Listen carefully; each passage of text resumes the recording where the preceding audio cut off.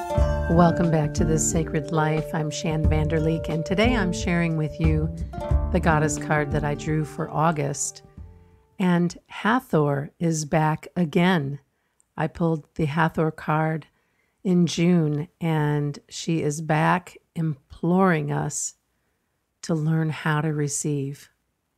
Allow yourself to receive. This will increase your intuition, energy, and your ability to give to others.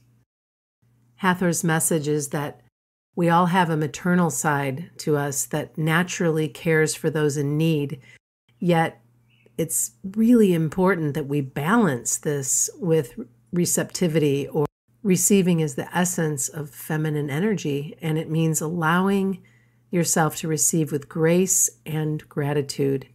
If you feel guilty when asking others for help, or if you feel bad about receiving gifts, then you block your feminine energy.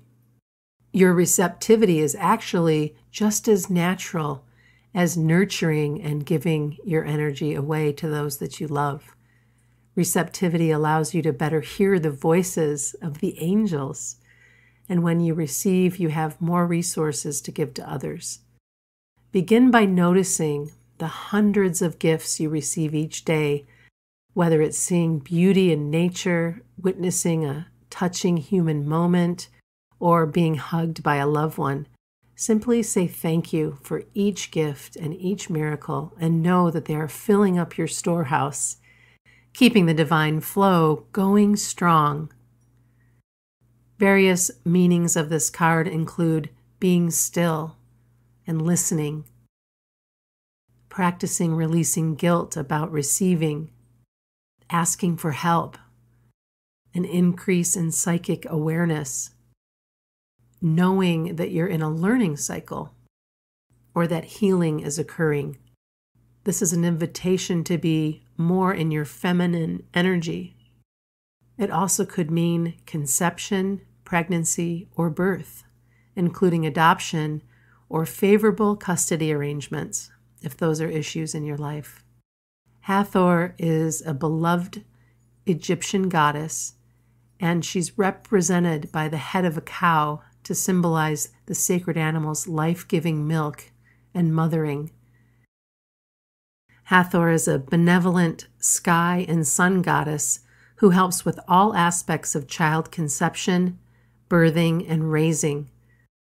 Call upon Hathor to guide you as you practice nurturing yourself and putting yourself at the front of the line. This really is the time to open yourself up to receiving the gifts that life has to offer you. It can be as simple as just paying attention to the great and beautiful miracles that we receive every single day.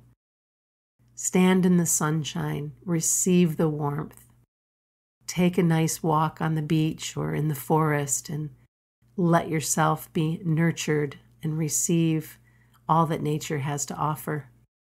Receiving isn't easy for everyone. It does take practice, and I invite you to practice as much as you can.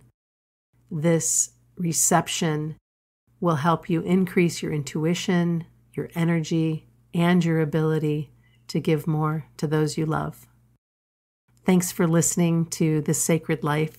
If you'd like your own goddess card, you can visit transformationgoddess.com slash blog, and I will draw a card for you for a small energy donation. Thanks for listening. I'll see you next month on This Sacred Life.